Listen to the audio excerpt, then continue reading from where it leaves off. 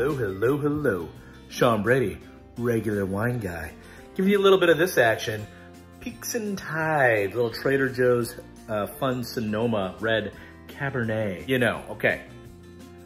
Our taste may be shifting a little bit because we are in the uh, coronavirus quarantine and you know, overall, nose okay, happiness. Uh, it's red, it's wet, it's happy, it's from Sonoma. We can drink it, we can serve it with food.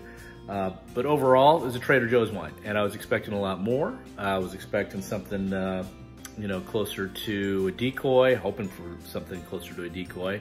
So for just a little bit more, five bucks more a bottle, uh, maybe eight, uh, you're, you know, certainly under 20 bucks a bottle, that's gonna be a superior wine.